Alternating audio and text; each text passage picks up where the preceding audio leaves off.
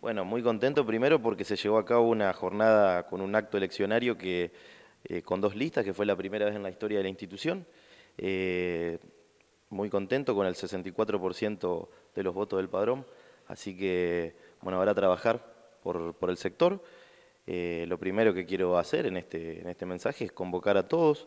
Creo que más allá de que haya habido gente de, una lista y de, o de otra, eh, el sector requiere del esfuerzo de todos para que Concordia, eh, para que el turista quiera venir a Concordia y que cada vez haya más gente que nos dé trabajo a todos los hoteleros y los gastronómicos de, la ciudad y de la región. ¿Quiénes lo acompañarán en esta lista que se ha conformado?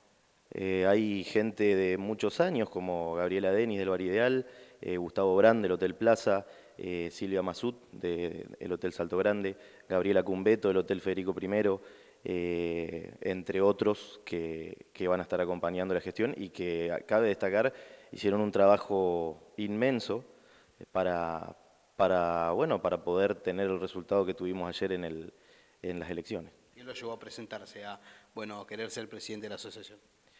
Eh, el afán de trabajar por el sector. Eh, creo que la asociación hotelera gastronómica necesita dirigentes representativos y el área necesita de mucho trabajo, eh, de que se siga haciendo mucho trabajo para que Concordia esté presente en, en todos lados. ¿no?